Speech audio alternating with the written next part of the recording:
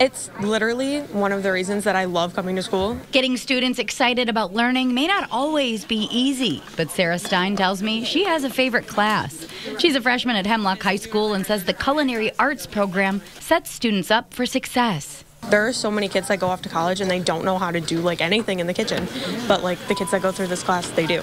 All right, so check it out. It's part classroom and then we swing this way and it's a full-blown kitchen. Students here at Hemlock High School are putting their skills to the test and cooking in the classroom. I have four to five kitchens in here, so I have my students spread out in those four to five kitchens. So all year long, they're making four or five different recipes and they're trying all of those. Leanne Gerard tells me for the past 23 years she's been instructing culinary arts.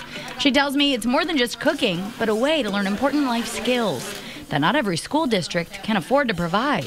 The majority of teachers that are like me, a traditional home ec teacher, their programs are dying off and they're not allowed to have them because of costs. She says the Hemlock community is what keeps the program not only alive but thriving through different fundraising events. And more than that, the students provide their culinary services to different organizations as their way to say thank you. I think that Hemlock has just tried to reach out so much, and not all the schools get a chance to do that. Mm-hmm. And so, since we get to reach out to the community, it's good just to help back and help with everybody. Corinne Boyke is a senior this year. She tells me having the kitchen located directly at the high school makes all the difference.